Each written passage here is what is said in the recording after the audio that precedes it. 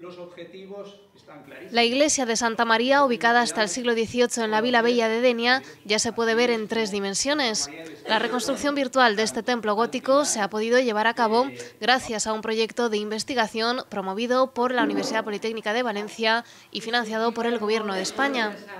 Y luego nos hemos tenido que documentar en base a los tratados de cantería de la arquitectura, que en España son muy numerosos a partir del siglo XVI y que recogen la tradición goticista. Entre ellos hemos, hemos consultado y los tenemos ya estudiados, el de Hernán Ruiz el Joven,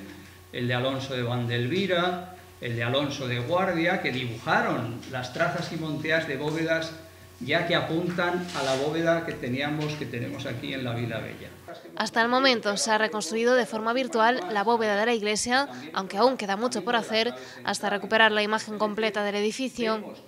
I ara el que ens queda és mm, un treball de documentació, d'estudi de fons documentals sobre l'època que ja hem encetat i ens queda de cara a una publicació que farem conjunta el més important. Una vegada coneguda la planta la proposta o la hipòtesi de la planta, pues, col·locar la hipòtesi de la teulada dins de la planta de forma que tinguem, que puguem tindre les suficients dades per a fer una reconstrucció eh, ideal, ideal i virtual de com era, eh, de com era en la seva totalitat aquesta església gòtica de Dènia que es bastiria a primeries del segle XIV Una conferencia sobre este trabajo de documentación y reconstrucción virtual ha inaugurado de forma oficial el Centro de Interpretación Audiovisual del Castillo de Denia, que albergará en próximas fechas nuevas conferencias sobre diversos temas.